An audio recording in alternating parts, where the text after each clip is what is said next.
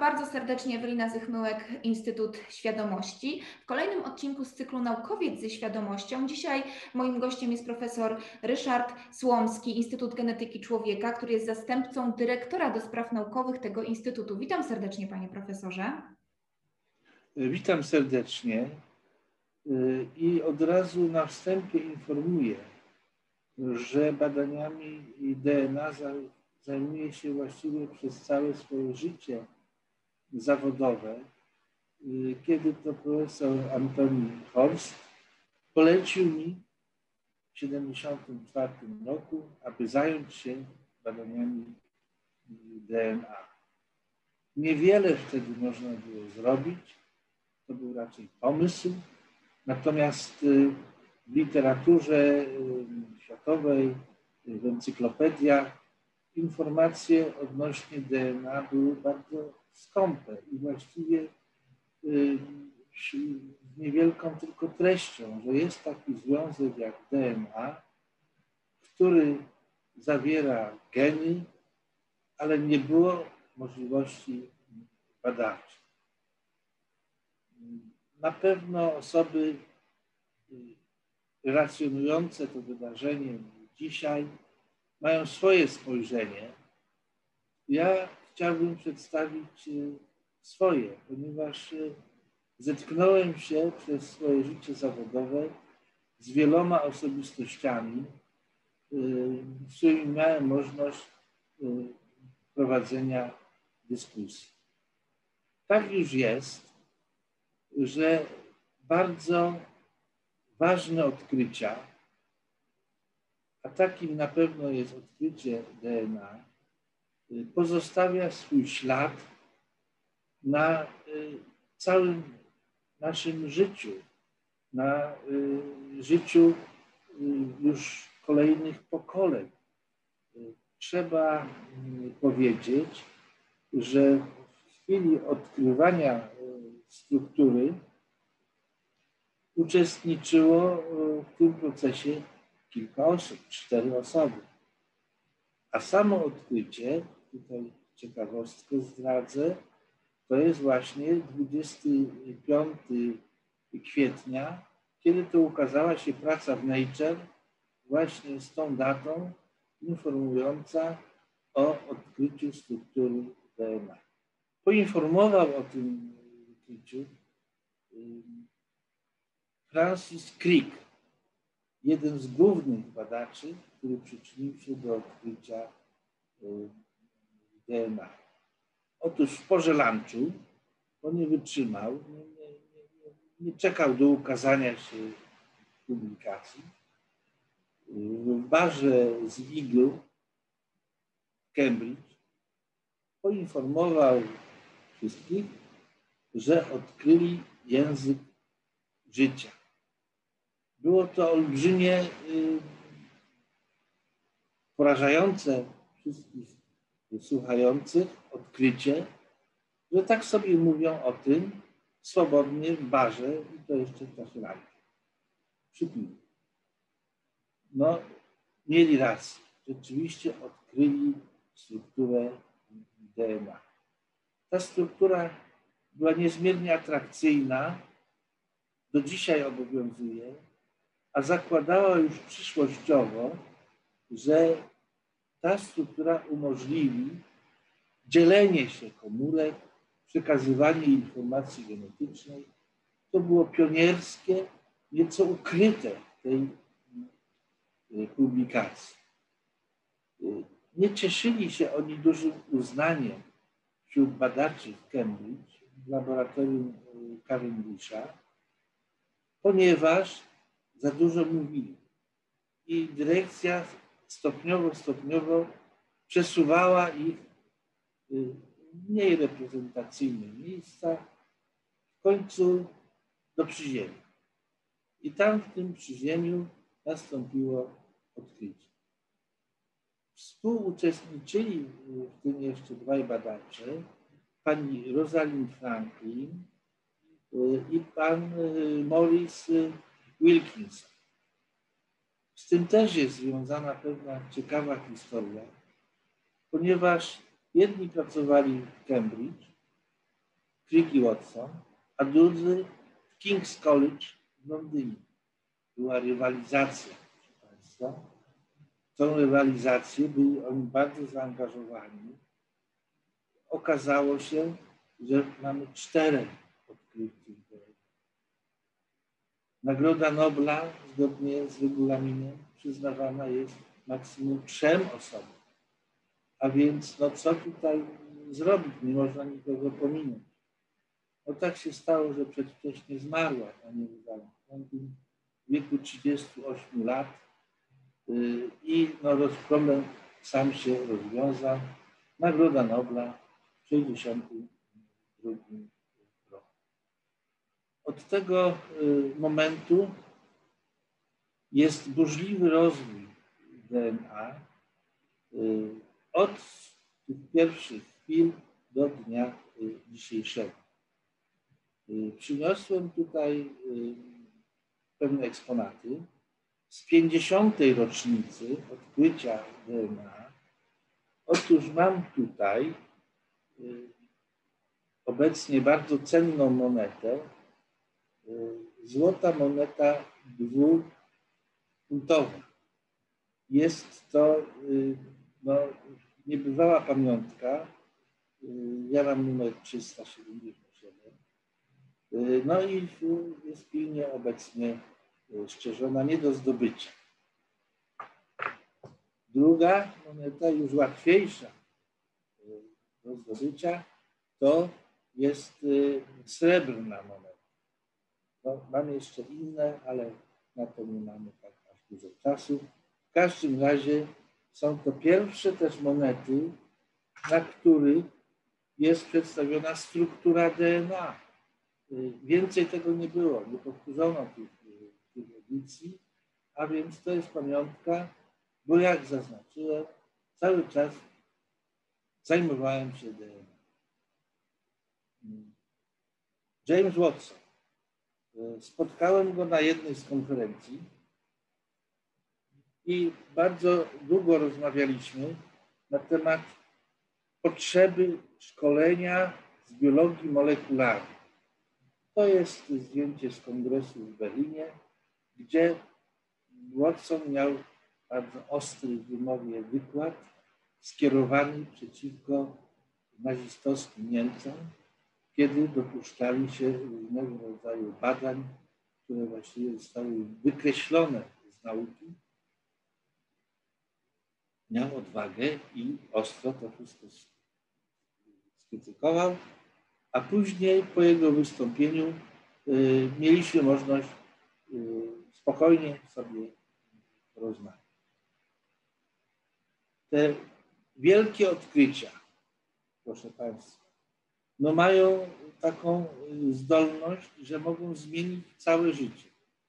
Odkrycie DNA uważane jest za najważniejsze odkrycie naukowe drugiej połowy XX wieku. I to wszyscy akceptują. Nie wiem, czy taka jasna sytuacja jest odnośnie pierwszej połowy, ale odnośnie drugiej połowy wiadomo, że poznanie struktury DNA. Gdzie obecnie y, widzimy na co dzień y, skutki tego wielkiego odkrycia? Otóż na pewno w medycynie regeneracyjnej, w medycynie sądowej i kryminalistyce. Tam badania DNA są już y, codziennością. I miałem też taką możliwość zajmowania się w Polsce tymi badaniami. No, uważam je za jedne z podstawowych, tak zwany odcisk genetyczny, który wprowadziłem w Polsce. Proszę sobie wyobrazić, że ku niechęci wielu osób, bo byli przyzwyczajeni do, do badań tradycyjnych, a tutaj coś pojawia się nowego, badania DNA, nie, nie wchodzimy. Praktyka wskazała jednak, że trzeba, więc dlatego tak wysoko wymienię. Biologia y, rozrodu y, i również y, biologia rozwoju Właśnie zakończyliśmy obecnie badania poznańskich pięcioraczy, u których stwierdziliśmy właśnie poprzez badania DNA, że pochodzą z pięciu niezależnych ciąż, że różnice, które były widoczne, fenotypowe, różnica masy urodzeniowej i tak dalej, to w sensie genetycznym y, mamy wszystkie prawa genetyki spełnione i dopiero od paru chwil właściwie o tym wiemy. Jest też informacja na stronie internetowej Instytutu. Choroby dziedziczne. Bez stosowania technologii DNA nie ma teraz możliwości ich badania, nie ma innej alternatywy. I to też się y, przyczynia do poznania chorób, które my nazywamy jednogenowe, y, wielogenowe, jak również y, generalnie choroby dziedziczne. Choroby nowotworowe. Przecież to teraz już jest też codzienność, którą widzimy. Dobrym przykładem jest badanie raka piersi. Okazuje się, że możemy wskazać mutacje. Te mutacje przekładają się na odpowiednie postępowanie terapeutyczne. To się teraz robi codziennie. To są rzeczy, które były niewyobrażalne w okresie, kiedy no, powstawały te badania DNA. Poznanie pełnej struktury DNA która warunkuje, warunkuje różne choroby, no to też jest dzisiaj y, codzienne. No, obecna pandemia to przecież nic innego też, tylko sprowadza się do badań informacji y, genetycznych. Tych przykładów jest y, bardzo wiele. Autorzy różni też wskazują, że klonowanie. Klonowanie, czyli produkcja na przykład przeciwciał monoklonalnych, to też obecnie codzienność. Że zwierzęta można klonować. Już od y, dłuższego czasu przecież odkrycie, przygotowanie owieczki doly, no to biegło cały świat. Miałem możliwość poznania dyskutowania z dwoma osobami zespołu, który tą y, owieczkę przygotował. Z Kitem Campbellem y, i y, również panią profesor Angelikę Schnickel. Pierwsza osoba w Wielkiej Brytanii, druga z Niemiec. Razem współpracowali. To mnie też, ja to uważam za, za, za szczęście, które miałem, że mogłem z tymi osobami akurat rozmawiać. Też ważne jest, że możemy obecnie badać choroby rzadkie, które dawniej stały niejako z boku, bo za trudne. Dzisiaj możemy. Właśnie dostałem do recenzji wspaniałą pracę doktorską, która dotyczy chorób rzadkich i dopiero po przeczytaniu sobie wyobraziłem, jaki to jest ogrom wiedzy, ile trzeba się było uczyć, żeby badać te, te choroby, klasyfikować je. Y, no, mimo, że one nie występują często. Jeśli chodzi, proszę Państwa, o y, terapie medyczne, w których y, znajdujemy zastosowanie badań DNA, to y, trzeba powiedzieć, że jest sporo przykładów. Prace, które opisały enzymy stosowane w tych badaniach, przy pomocy enzymów można budować DNA, można DNA analizować y, i y, pozwólmy enzymom pracować. Takie było hasło sprzed paru lat, ponieważ to one wykonywały pracę za badaczy. I tutaj od razu można poza tymi enzymami wymienić też szczepionki. No dzisiaj, dzisiejsza sprawa. W Polsce biotechnologia powinna stać wyżej. nie stoi, bo skasowano w międzyczasie dziedzinę naukową biotechnologię. OECD zakłada, że biotechnologia musi być w wykazie. U nas pominięto.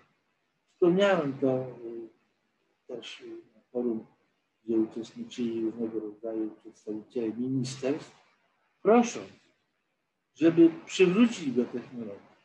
Polscy biotechnolodzy są bardzo dobrzy. Przyjeżdżają na staże do nas goście z innych krajów. Ta biotechnologia jest mocna, ale bez swojej reprezentacji jako dziedzina naukowa tracimy. Musimy o tym też pamiętać. Leki. A więc teraz, bo też jest takie zapytanie leki na miarę. Tego jesteśmy świadkiem. Że jeśli się okazuje, że na chorego dany lek nie będzie działał, to po co mu podawać? Wręcz może zaszkodzić. To są nowe rzeczy, które się pojawiają. I to hasło leki na miarę nabiera rozpędu i będzie coraz częściej stosowane. Jeszcze chciałbym wspomnieć takie ciekawostki. Otóż e, przełomem, który towarzyszył poznaniu struktury DNA, była możliwość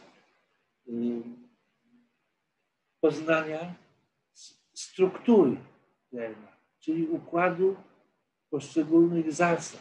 To było przez całe lata niemożliwe. Wiedziano już, że, że to DNA jest, jaką ma budowę. Nie wiadomo było, jak to badać. I pojawił się Frederick Sanger, który, który opracował metodę sekwencjonowania. Ta metoda otworzyła wszystkim oczy. Ja y, byłem wtedy w Stanach Zjednoczonych y, i y, zebraliśmy się na Uniwersytecie w Chicago w największej auli, przyjmując 15 innych jeszcze uczelni, kiedy Sanger przedstawiał swój wykład o sekwencjonowaniu. Coś niebywałego. Niebywałe było też to, że przyjmował duże gratyfikacje za swój wykład, ale to był wykład przełomowy. I on naprawdę, tak jak powiedziałem, otworzył nam oczy, że możemy poznawać teraz, co to są geny, ich strukturę, uszkodzenia, jak wygląda sposób naprawy, co możemy wnioskować. To się wszystko obecnie rozwinęło i no, jest na całym świecie stosowane. Też my tutaj w Polsce, w Poznaniu mamy spore osiągnięcia odnośnie pracy nad DNA. Ja miałem możliwość przedstawienia swoich badań przed Francisem Collinsem. To jest badacz, który był dyrektorem Centrum Badania Genomu Człowieka. I to, że on przyszedł na wykład tutaj Polaka w Houston, no trochę paraliżował. Nie powiem, że bardzo mocno, ale naprawdę to był całkowity paraliż. Po wysłuchaniu wykładu no, życzliwie się odniósł, bo przecież dzieliła nas przepaść technologiczna, ale same pomysły badawcze, próby ich zastosowania w praktyce no, wzbudziły zainteresowanie. Czy można powiedzieć, że mm, genetyka jest fundamentem y, y, medycyny? Tak. Już dawniej, kiedy jeszcze nie wiedziano, co to jest DNA, z uwagą śledzono badania genetyczne. Od samego Mendla, aż później przez powtórzenie jego badań i do czasów II wojny światowej i okresu nieco po niej, kiedy zaczyna, zaczęto coraz bardziej rozumieć, jak ważne jest DNA i DNA dla medycyny. Większość nagród Nobla to były za pracę dotyczące no, medycyny. A trzeba pamiętać, że dawniej badacz, profesor, to nie miał zespołu. Przeważnie może miał do pomocy jednego technika. Sam musiał wszystko robić i przy zastosowaniu organizmów modelowych, no sam wszystko robi. Stare zdjęcia pokazują, jakie to było zaangażowanie. Fotografia to były często rysunki. A więc y, to rzeczywiście stopniowo się rozwijało. Zachowały się również takie listy do prominentnych badaczy, żeby podjęli tu czy tam pracę i no, praca będzie bardzo ciekawa i dostaną do pomocy technika. To był ten lep, który przyciągał że do badań y, przypadku na przykład organizmu modelowego drozofilii i wielu innych, gdzie pracę wykonywali sami y, profesorowie. Ja w moim życiu miałem dużo szczęścia. Y, w tym sensie, że spotykałem się i moimi nauczycielami byli czołowi polscy naukowcy. Profesor Augustynia, profesor Pawełkiewicz z Poznania. Od nich można było czerpać wiedzę garściami, a ta wiedza to była spisywana y, ręcznie notatką. I walczyliśmy o nie tutaj na miejscu, ponieważ one były tak prowadzone jak książki i rzeczywiście stanowiły y, źródło y, wiedzy. Zatem medycyna nie tylko, że korzysta, ale będzie jeszcze bardziej korzystała z osiągnięć genetyki. Nie ma jeszcze takich dobrych przykładów odnośnie terapii genowej. One się raz pojawiają, raz zanikają. Każde niepowodzenie powoduje na zamknięcie takich badań na długie lata. Kiedyś myślano, że skoro już poznamy gen, umiemy go poznać, umiemy go syntetyzować jako prawidłowy, no to wymienimy taki gen uszkodzony na prawidłowy, sprawa zamknięta, wszystko będzie dobrze. Niestety było parę porażek i tak się to skończyło, że po wybuchu entuzjazmu obecnie no, widzimy, że jeszcze trzeba lat, żeby tą terapię genową y, w pełni wprowadzić. Z drugiej strony ta druga część, czyli to klonowanie, uzyskiwanie komórek, uzyskiwanie komórek, które produkują przeciwciała monoklonalne, to wszystko wiemy. To możemy robić. Przykłady naturalne klonowania. No to są bliźnięta y, jednozygotyczne. To występuje w przyrodzie i to, i to funkcjonuje. Natomiast to, czego byśmy chcieli najbardziej, żeby usunąć jednym, e, jedną z zasad z 3 miliardów i ją zastąpić prawidłowo, to się jeszcze akurat nie udaje. Ale poznawać już można, a jak można poznawać, to liczymy się z tym, że też przyjdzie wkrótce czas, żeby e, wprowadzić w medycynie także ten etap naprawy. Ja myślę, pani y, redaktor y, i państwu słuchającym, że żyjemy w czasach naprawdę y, bardzo, bardzo interesujących.